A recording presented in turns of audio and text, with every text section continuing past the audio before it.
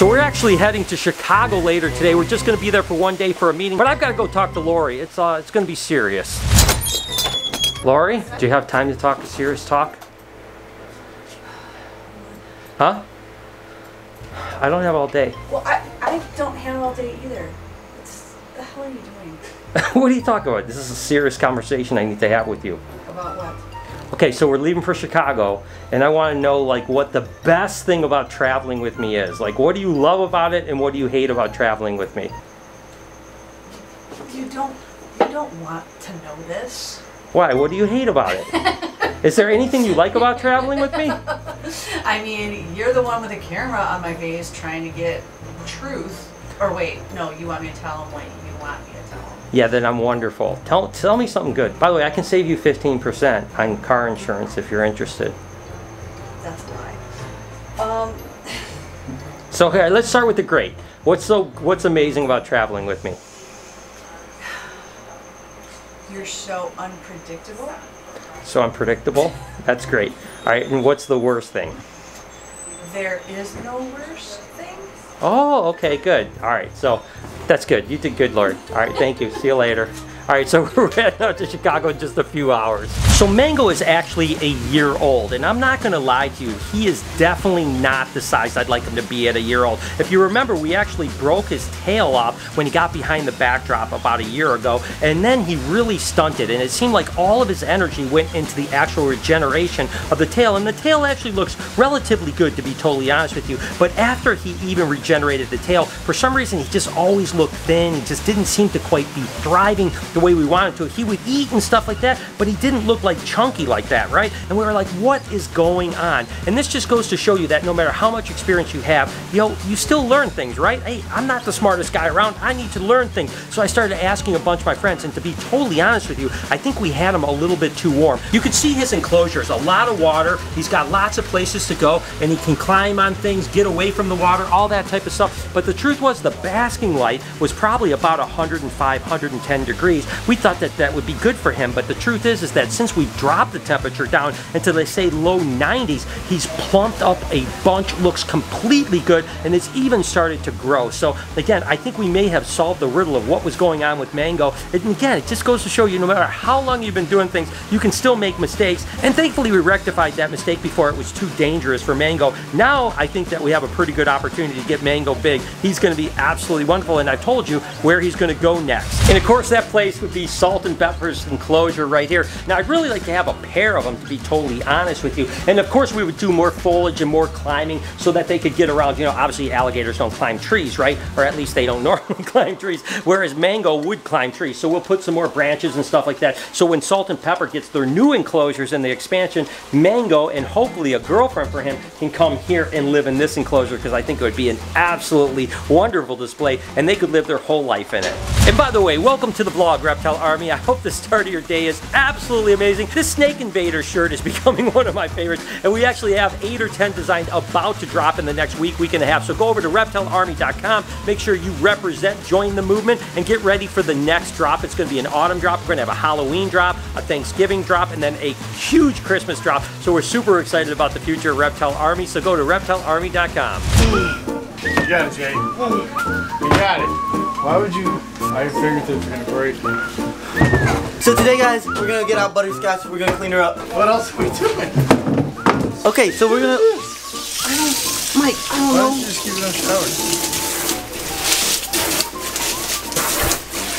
Okay, so we're gonna let this fill up, and we're getting out butterscotch. Misty Mike's favorite. We're not there yet. Wham! I'm just doing it, Mike. Are you ready? Mike, I'm doing it. Jay, get off the house. Mike, I'm doing it. Get it, Jay. Get it. Probably get like a snake hook or something, Mike. A freaking ladder. Do something, please. Who got this guy hired here? You have no power over me. Ew! I was like, what is this hard thing? And it was just a big thing of poop.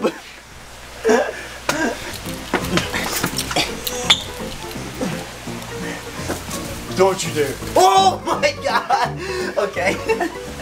Don't throw a fake rabbit. up. She's looking at me too. You're supposed to. Ooh! Mike, Mike, Mike, I love you. Okay, come on, give her head to me. Come on, let's go right now. Mike, come on! Wait, wait, wait. Stop talking. Wham! Is that what's gonna happen? Maybe. Look at you in your ass. Oh my god.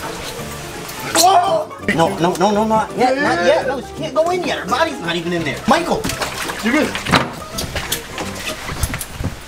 Okay. And then I'm gonna leave Mike to clean this.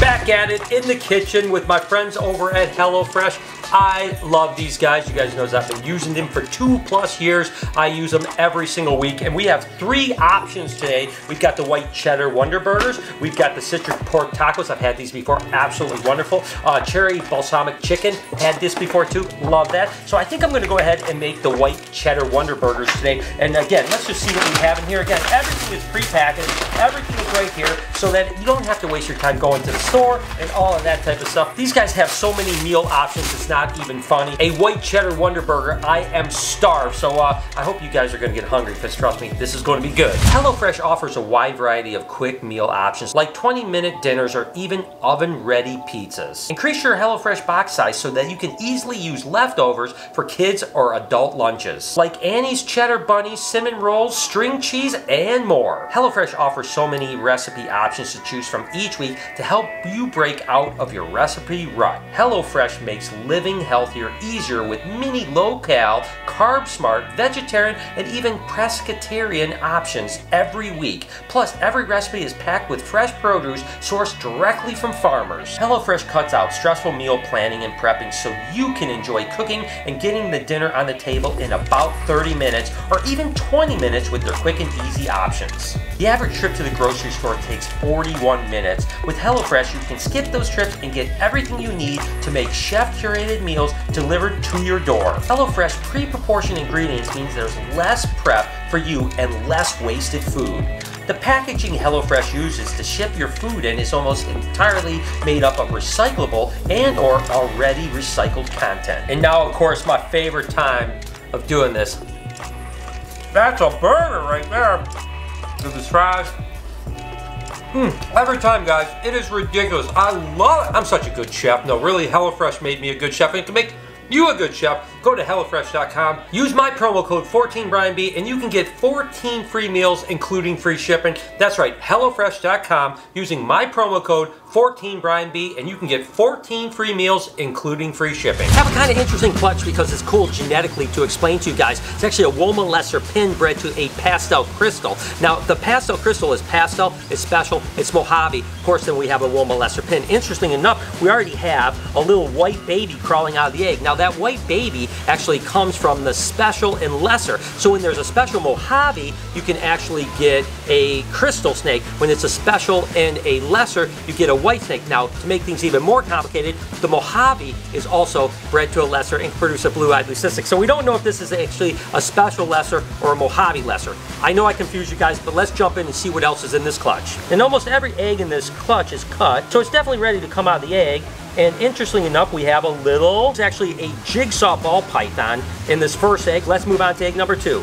See what we got here. I don't know if we're gonna get anything really crazy or not. I'm just not really sure. And what we have here is actually a lemon blast special. Now, what you gotta remember is the allelic nature of the Mojave and the special for the crystal means that everything is either Mojave or special, right? So we know that this is a lemon blast and we know that it's not a Mojave, so it has to be a special, right? So let's just uh, keep on moving on. And that's the way the allelic stuff works, is actually is that it'll always come out. This is another one here. Again, another little jigsaw. Looks like it's something else. Looks like a jigsaw, but it's a really reduced pattern one, so I don't know. It's still really beautiful animal. We already know this is a white snake. We actually know this one right here is also a white snake because I actually could see in it. Again, don't know if this is gonna be a special lesser or a Mojave lesser. Typically the special lessers will have a little bit of pattern to it. So these are both patternless. I'm, I'm pretty sure these are Mojave lessers. At least I'm kind of sure. Anyways, two more eggs to go. All right, what do we have here? Another white snake. Looks again like a Mojave and a lesser to be totally honest with you.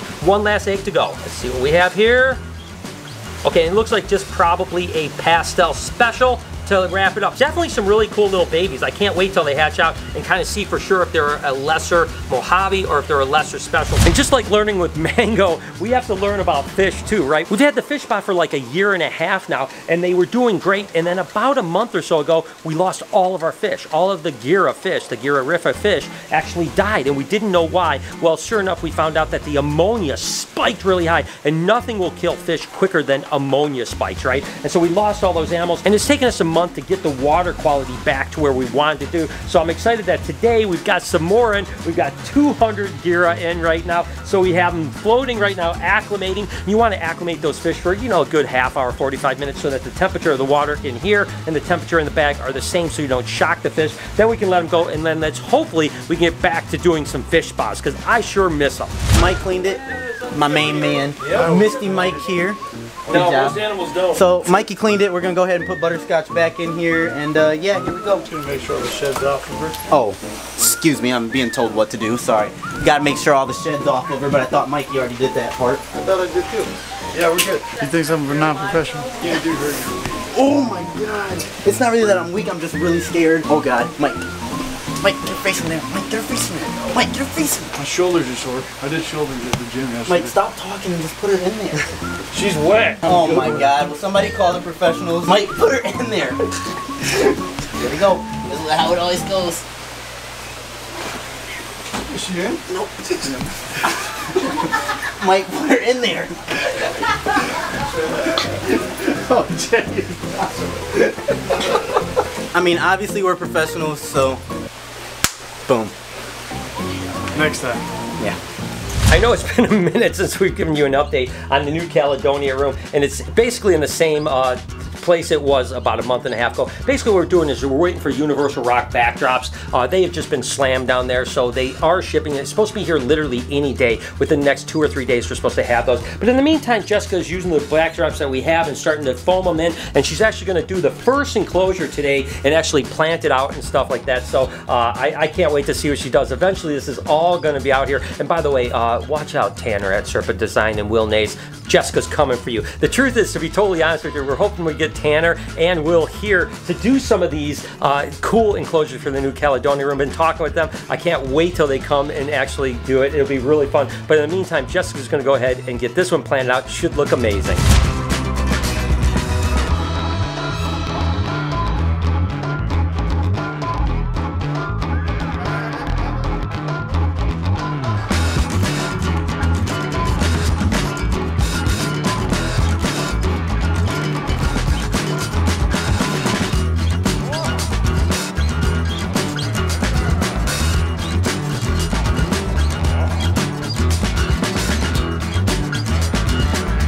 Another one of those pumpkin male bred ball pythons that has a clutch here. This is actually an Enchi Woma ball python. Again, it's bred to the pumpkin male, the pumpkin cine male, I should say. So we should have some pretty cool stuff here. Let's see what Mama has. Don't bite me, Mama. You're okay.